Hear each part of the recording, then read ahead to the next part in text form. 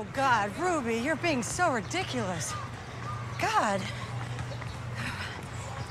He has spells, Gretchen. Spells? What do you mean spells?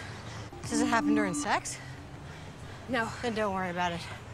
Look, if these spells were happening during sex, you know, then I'd worry.